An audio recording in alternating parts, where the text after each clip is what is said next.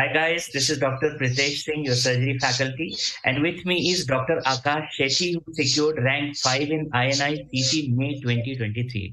Congratulations, Akash. Tell us Thank you so much, sir.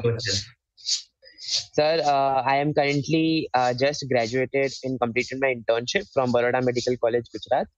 And uh, as of now, I am enjoying in Goa with my friends.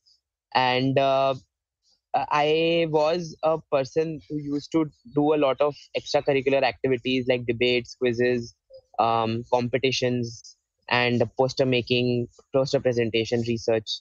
And that's how my MBBS has been very memorable for me. And this is like the cherry on, the top to end it all. Right. So, what was your preparation strategy for this exam?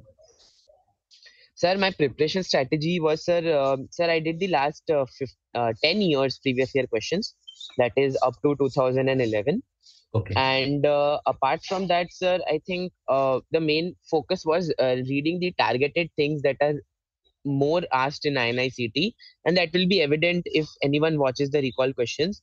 Is that uh, they have special love for recent updates, updates as recent as uh, uh, March.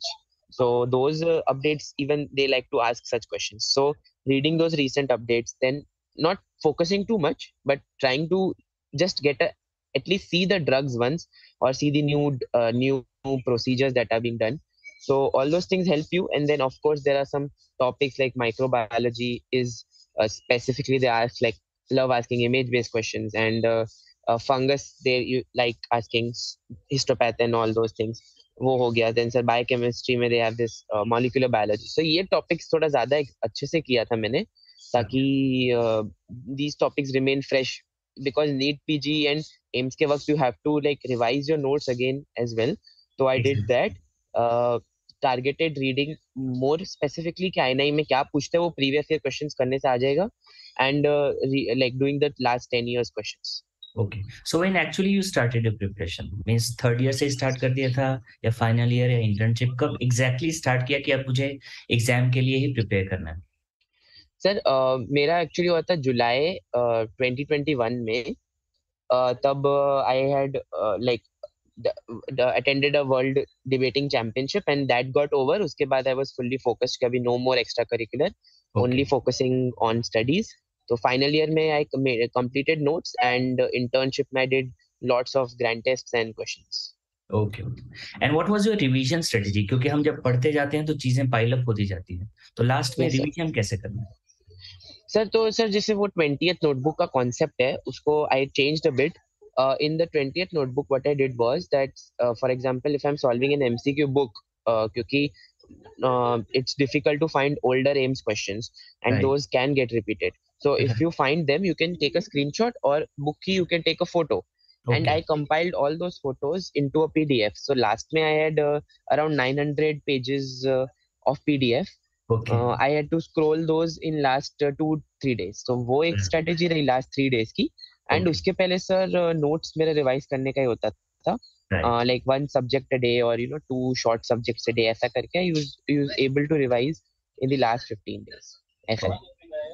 ये NEET PG और INICET में how the preparation strategies should be different या preparation is almost same आपको सिर्फ़ you have to brush up the knowledge by going the pattern of questions So I think the second one is more true that uh, you because the content is the same, the uh, notes are the same, the faculties are the same, the uh, just two three things additional for INICT. Like I said, the topics initially uh, more focusing on PYQs.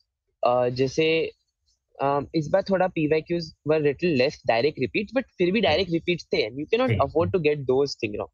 Yes. Right? Apart from that, uh, sir, I think most important is time management because they have these long form of questions uh, like A B A B C C D A ऐसा करके होता है तो sir that takes a lot of your time so exactly. quickly doing uh, you know solving the GTs which are INI focused ऐसे type के थोड़े long form questions हो थोड़े से confusing थोड़े से tricky थोड़े से आपको मतलब थोड़ा तंग करे ऐसा क्वेश्चन uh, वैसे हो तो INI जैसे GTs आप दोगे that will be helpful and sir apart from that I think um, एक, this one is most important that uh, you don't mark for review in INICT because those will not be counted in your final evaluation. Okay. So on my admit card only I wrote like 30 to 40 questions so I have to review last. And उसके आगे questions के आगे भी I wrote some options as well like suppose मुझे A और B में doubt है तो फिर मैं वो जब क्वेश्चन देखूँगा just see to see between A versus B I don't have to read C and D because वो मैंने फ़र्स्ट रीडिंग में ऑलरेडी दोनों एलिमिनेट कर दी तो ऐसे टाइप की when you gain a lot of speed तो हेल्प होती है.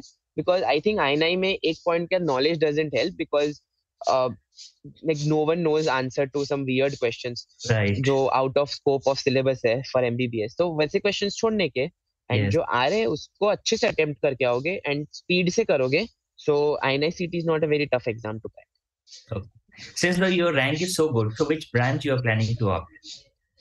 Uh, sir, currently, uh, I initially had uh, from my ward days, uh, I used to enjoy medicine a lot.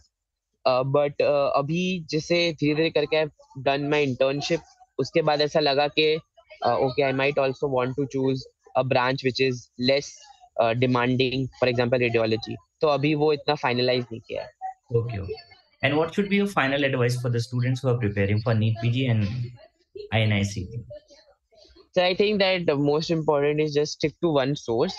Don't do कि ये इधर से करे ये इधर से करे। अच्छे से एक सोर्स से पढ़ो और उसको बार बार रिवाइज करो do lots of question because those will be helping you gain speed to eliminate option those tricks that I N I and even NEET for that matter requires you to have you cannot just read notes and go to the paper give a lot of G Ts and always have a bigger purpose के okay you want to crack this exam so that you can motivate your juniors you can put your name of your college uh, at a at a national level uh, right. so people recognize you from your college okay akash बड़बड़ा medical college से we know that he scored a rank like this तो वैसे कुछ आपका motivation रहता है आपको पढ़ने में ज्यादा खुशी होती है लाइक रैंक आता है तो भी और जब process also is very happening है the process also is very rewarding if you read uh, to not just get into a good college but to get uh, or to make your parents proud so congratulations agas once again for this wonderful rank.